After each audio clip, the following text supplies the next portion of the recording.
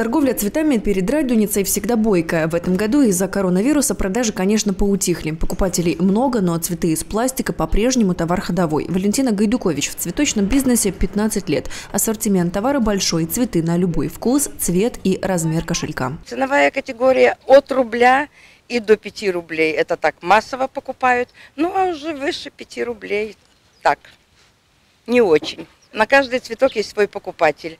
Но в основном в этом году берут цветочки дешевые. Да, искусственные цветы стоят недорого, ухода не требуют и уж точно никогда не завянут. Это плюсы, но есть и минус. Специалисты говорят, что цветы из пластика – настоящая экологическая катастрофа для Земли. А что думают брещане на этот счет? Искусственные цветы э, мы покупаем всегда и будем в этом году покупать. В Европе уже отказываются от них, поэтому я считаю, что нужно и отказываться и у нас постараться. Это все-таки экология. Надо отказаться.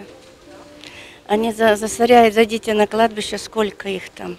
Я лично покупаю, но тоже против. Сжигать цветы из пластика вредно. В Беларуси вовсе запрещено законом. Если выбросить или захоронить, материал будет разлагаться даже не десятилетиями. Вред от пластикового цветка растянется на века. Разложение искусственных украшений, со слов экологов, длится от 100 до 600 лет. 100 тонн таких отходов ежегодно образовывается в Бресте и Брестском районе. Альтернативой, в принципе, допустим, пластиковым цветам можно ну, сюда отнести цветы в горшках, э, многолетние растения, которые высаживаются в грунт. Это э, может быть какие-то карликовые кустарники, газон э, даже простой.